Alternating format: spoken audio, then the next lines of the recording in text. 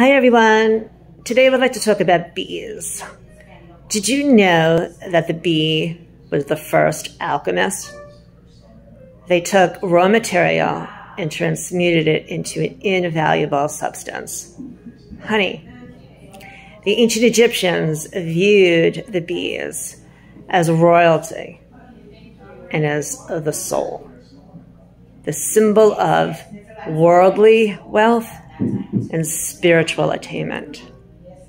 When Napoleon invaded Egypt, he saw the bee's symbolism on the walls of the ancient Egyptian temples. And so he incorporated the bee symbolism into his court.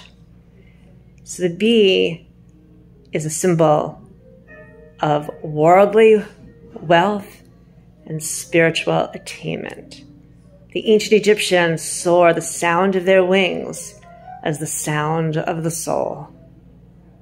So the next time you encounter a bee, think of royalty and the symbol of the soul. Bye for now.